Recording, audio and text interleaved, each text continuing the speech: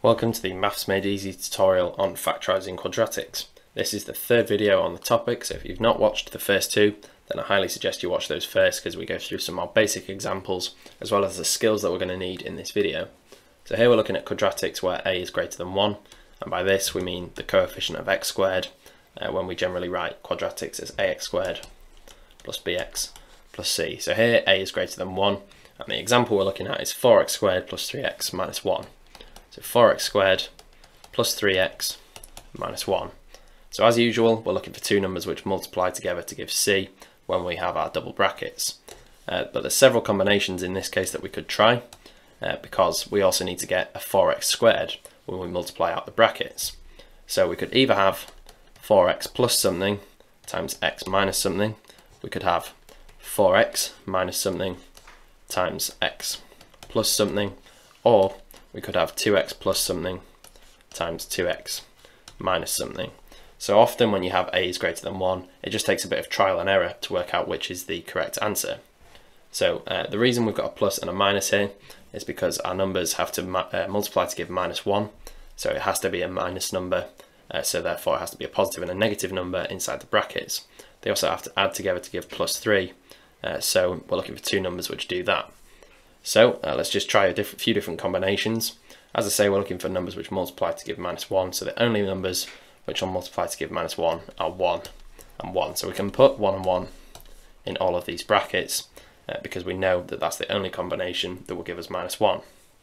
So uh, we'll just use the FOIL method here to expand out all these brackets and see which one gives us our quadratic. So I'll draw the arrows on this first one. Uh, so we've got 4x times x which gives us 4x squared. Then we have 4x times minus 1, which gives us minus 4x.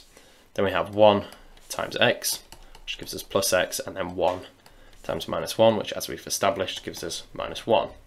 So when we simplify this, we get 4x squared minus 3x minus 1. So all we've done is collect the like terms there. Uh, and as you can see, this is not equal to the quadratic we started with. Uh, so let's say that this is a wrong answer. So let's move on to the second one. We've got 4x minus 1 uh, times x plus 1.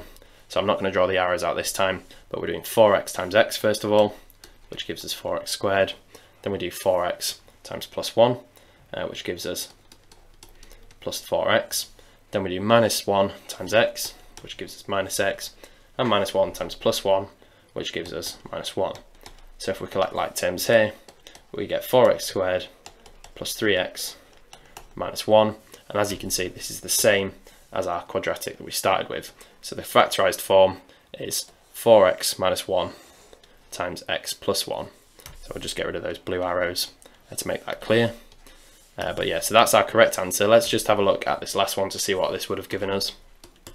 So we're doing 2x times 2x, which gives us our 4x squared. And then we're doing 2x times minus 1, which gives us minus 2x. Then we're doing plus 1 times, uh, times 2x, sorry, which gives us plus 2x. Now we're doing 1 times minus 1, which gives us minus 1. So when we collect like terms, the 2x and the minus 2x will cancel. So we get 4x squared minus 1. So this isn't our right answer. So uh, as we established before, the correct answer should be 4x minus 1, x plus 1. So let's look at this final example now, where we have 2x squared plus 7x plus 3.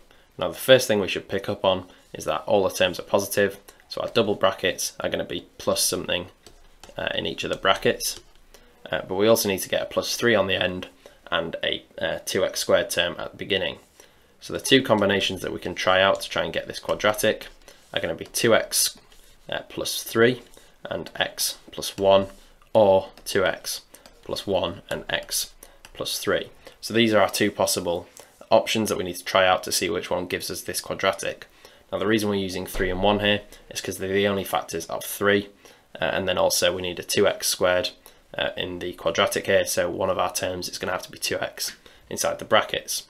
So we're just going to have to expand this out and see which one gives us the quadratic above and for that we're going to use the FOIL method. So first uh, is going to give us 2x squared. Outside terms are 2x and 1 so that gives us plus 2x. Inner is 3 times x, so that gives us plus 3x. And last is 3 times 1, which gives us plus 3. So when we collect like terms, we get 2x squared plus 5x plus 3. Uh, so that's not good enough uh, because we need to get 2x squared plus 7x plus 3. So let's mark that as a wrong answer. So now let's move on to the second option. So 2x times x first of all is going to give us 2x squared. 2x times plus 3 is going to give us plus 6x. And then 1 times x gives us plus x. And 1 times 3 gives us plus 3. So when we collect like terms, we get 2x squared plus 7x plus 3, which we, if we compare that to our quadratic that we had at the start, uh, this is the same. So this is our correct answer. Whoops, that was meant to be a tick. This is our correct answer. Uh, so that's all we need to do uh, with this quadratic.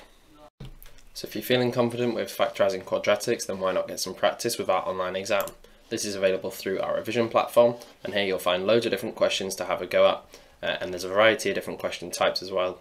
Uh, so all of them you'll get instant feedback on, and you'll be able to work out where you're going wrong and find out how you can improve uh, in order to be prepared for your actual exam. So if you're interested, you can click the link below and it will take you straight there.